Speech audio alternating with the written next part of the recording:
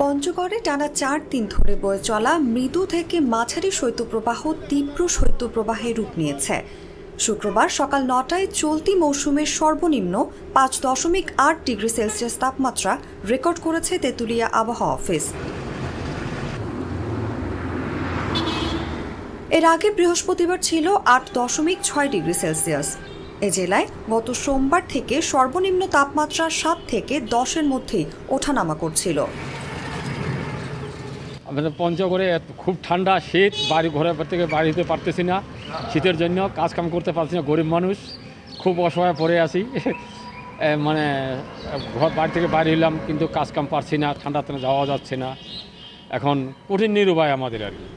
আবহাওয়া অফিস জানায়, বছরের শীতলতম মাস জানুয়ারির শুরু থেকে এখানে হাড় কাঁপানো শীত অনুভূত হচ্ছিল। কয়েক দফা মৃদু থেকে মাঝারি শৈত্যপ্রবাহ বয়ে যায়। সপ্তাহ জুড়েই এখানে সর্বনিম্ন তাপমাত্রা দশের আশেপাশে ছিল। আমি রিক্সা চালাই রিক্সায় মনে করেন যাত্রী উঠতে চায় না ঠান্ডার কারণে। এ নিয়ে মনে করেন অসুবিধায় আছি আর কি পরিবার নিয়ে। শীতের জন্য যাত্রী খুব কম হয় আমাদেরও খুব সমস্যা হয় আর কি। ইয়া ইয়া করতে রিক্সা চালাইতে খুব সমস্যা হয় আমাদের। বৃহস্পতিবার সকালে ছয়ের নিচে নামে তাপমাত্রা যন্ত্রের পারদ। ভোর থেকে শুরু হয় ঘন কুয়াশা।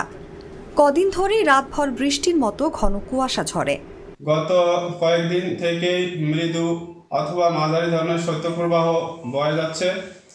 আজকে পঞ্চগড় তেঁতুলিয়ায় সর্বনিম্ন তাপমাত্রা রেকর্ড করা হয়েছে পাঁচ দশমিক আট ডিগ্রি সেলসিয়াস। এটা মূলত তীব্র শৈত্যপ্রবাহ। আহ, এছাড়াও হঠাৎ করে দু একদিন বিচ্ছিন্নভাবে তাপমাত্রা একটু কমে যাওয়া সম্ভব।